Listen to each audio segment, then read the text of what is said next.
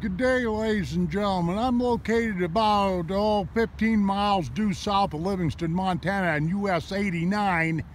That's the highway that goes to Yellowstone National Park. But why I'm making this video is look right dead in the middle of your screen and you're going to see a peak. Well, I think you're going to see a peak. I just zoomed in on it. It's called Living or Emigrant Peak. And the reason why this image is so fuzzy and blurry and whatnot have you is because what you're looking at is forest fire smoke. Plain and simple. Let me rotate this camera around. Sorry if this gets a little shaky. But yeah, that haze that's in the air is what I'm trying to capture. Because on any given day up here in the big sky country of Montana, you know, the skies are blue and all this other kind of stuff, but not recently because on the other side of these Absaroka Mountains, that's what they're called, the Abs, some people like to say Absaroka, but it's Absaroka. It's the Indian name that means Crow Indians, but on any given day, those mountains are very clear and blue, sky, blue skies, but just take a look at that mess. Forest fires are expensive to put out, they're hard to put out, Takes a lot of resources, you know, and all that kind of stuff. Makes the air tough to breathe. Let me tilt this camera a little bit this way so I'm not so crooked here. And that's what I hate the most. Makes my eyes water and everything like that.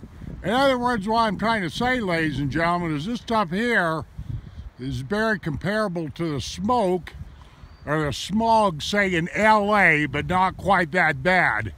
I can't think of anything worse than that kind of a situation, but this is the residual effects of a smoke of a forest fire. Like I say, we got one burning right on the other side of those Absaroka Mountains over in the Boulder country.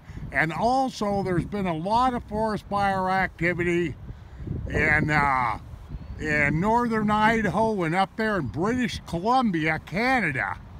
And of course, when that all that stuff ends up blowing right straight to the Paradise Valley, Montana, Livingston, that's the Yellowstone River down there, by the way.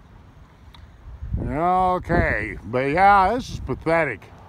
I absolutely hate when this kind of stuff goes on because, like I say, it wrecks uh, and tourists don't even like it, you know.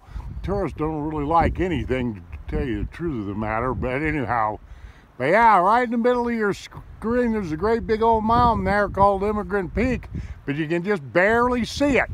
And I'm not shooting into the sun either, so anyway, yeah, this forest fire business, it definitely affects the air quality and recreation and all kinds of stuff that we have here in Montana.